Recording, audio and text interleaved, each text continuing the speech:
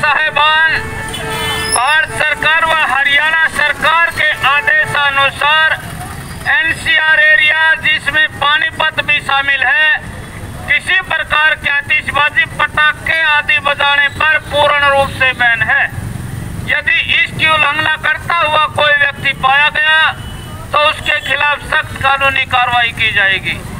सुनिए साहेबान भारत सरकार व हरियाणा सरकार के आदेशानुसार एनसीआर एरिया जिसमें पानीपत भी शामिल है। किसी प्रकार के आतिशबाजी पटाखे आदि बजाने पर पूर्ण रूप से बैन है।